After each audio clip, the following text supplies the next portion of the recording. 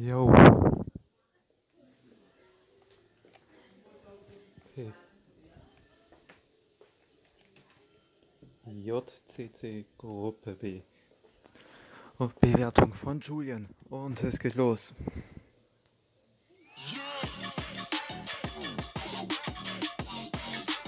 Warum wurde genau dieses Intro am besten bewertet? Warum?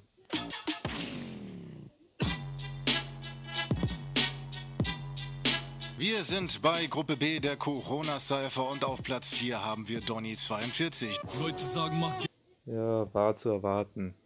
War auch bei mir letzter, aber schade um die ganzen Dislikes. Wendler. Hase im Haus wie der Wendler.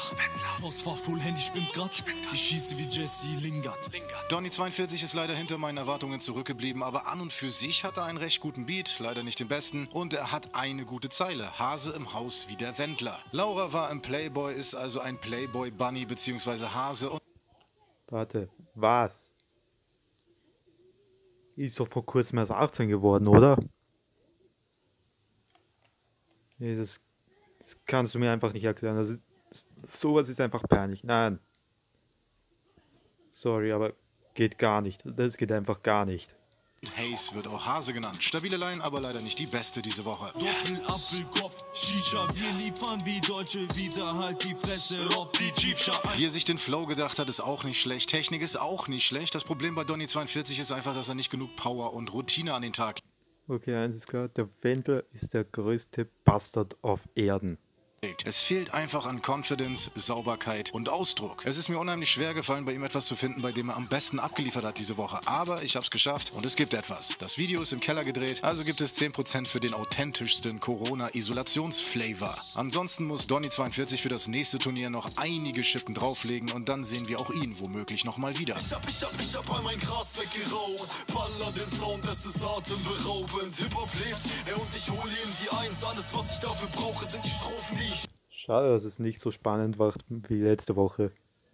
Auf Platz 3 haben wir Anti. Er hat die beste Line diese Woche mit einem Bein im Knast, so wie Herschel Green. Wer The Walking Dead gesehen hat, wird mir hier zustimmen. Wer The Walking Dead nicht gesehen Ja. hat, der sollte das unbedingt nachholen und kann mir dann zustimmen. Simple Line, aber Ruft an, ganz ehrlich, ruft an. Das ist eine Fotze. Nein, ruft nicht an. Tut es nicht. Aber 41 Downloads, das sind schon einige, wenn man es mit Stansory vergleicht.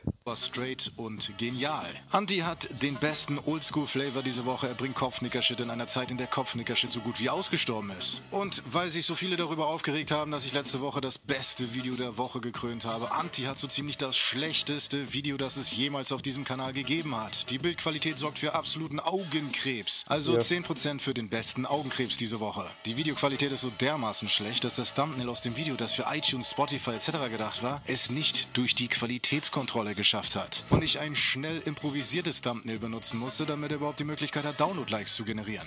Anti hat die beste Technik diese Woche. Mannschaft in meinem Rücken, anfange zu spitten, Baba Hases bliffen, Amjassam am Mitteln, Straftaten verwickelt. Kannst du Loser Texte durch den Sprachcomputer rappen? Absolut stabil, was er hier abliefert. Außerdem hat er den verständlichsten Double Time diese Woche. Jede Silbe ist klar und deutlich verständlich, wenn man Double Time benutzt. Dann ist genau das das Level an Verständlichkeit, das angemessen ist. MySap. Wenn es ausschließlich nach mir geht, Okay, ja. Gibt aber deutlich schlimmere als Maisep. Maestro. Würde, dann wäre Anti unter den beiden fürs Achtelfinale. Aber es geht nicht ausschließlich nach mir und ich bin etwas überrascht, dass Anti uns jetzt schon verlässt. Denn wir verlieren hier gerade einen richtig guten Rapper. Die Blindheit ist die Monotonie im Auge des Betrachters. Du siehst nichts Brauchbares, schau, weil du es tausendmal gemacht hast. Kommen wir zu KG. Und wie schon in der Quali legt er einen sehr exotischen Flow an den Tag. Das wirkt alles sehr eigen und nicht so, als hätte er das irgendwo nachgemacht, wie es bei vielen, vielen, vielen allen Rappern der Fall ist. Er rattert das relativ schnell ein paar Silben in den Beat und wird dann etwas langsamer und geht dann mit der Stimme etwas höher und sanfter auf den Beat ein. Ob man seine Stimmfarbe mag oder sich mit dem Inhalt identifizieren kann, ist jedem selbst überlassen, aber KG ist alles andere als Standard und hat den exotischsten Flow diese Woche. Es gab Kritik wegen den 10% extra für das Video bei Bonnie letzte Woche, weil das in der Corona-Cypher eigentlich egal ist, aber hier haben wir das beste Video Gut, für das beste Video soll man aber schon belohnt werden, für ein krasses Video. Woche. Und was soll ich jetzt eurer Meinung nach machen? Das komplett ignorieren? Meinen Schwanz rausholen und auf die gute Arbeit des Videoproduzenten draufpissen? Es ist ja nicht so, dass die anderen nicht auch 50% Bonus erreichen können mit einem schlechten Video. 10% für das beste Video nehmen niemandem mit einem schlechten Video 10%, die auf einem anderen Weg erreicht werden könnten, weg.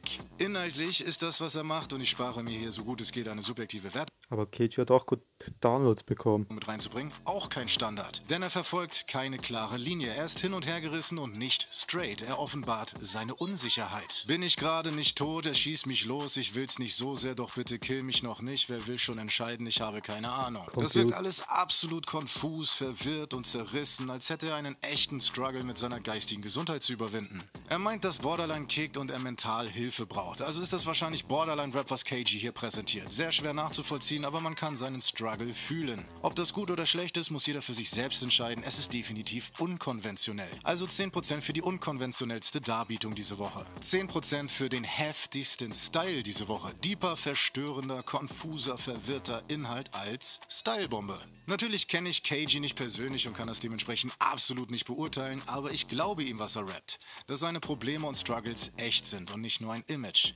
Ich vermute, dass es sich bei KGs Runde um den realsten Track diese Woche handelt, also noch 10% für die Realness. Er gibt definitiv am meisten von sich preis und wirkt am authentischsten diese Woche. Für mich bringt KG das Highlight der Woche. Dein Cock ist am Zittern, weil du weißt, dass du verlierst.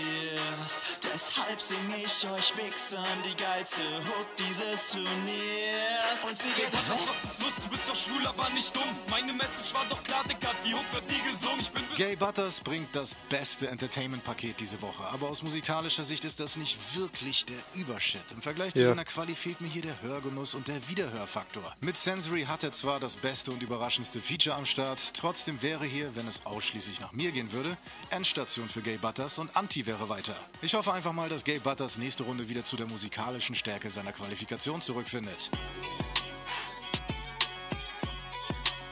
Hier nochmal die Platzierungen auf einen Blick. Gleich um 18 Uhr kommt Gruppe C und das sind Tommy Köln, Jasper, Romina und MySap. Und das ist diesmal eine komplett starke Gruppe. Hey Butters, was ist los? Du bist doch schwul, aber nicht dumm. Meine Message war doch klar, Dicker, die Hook wird nie gesungen. Ich bin besoffen, das heißt Gegner werden nass gemacht. Ich komm mit ner AK-47 zu ner Wasserschlacht. Na gut, dann sehen wir uns bei Gruppe C wieder.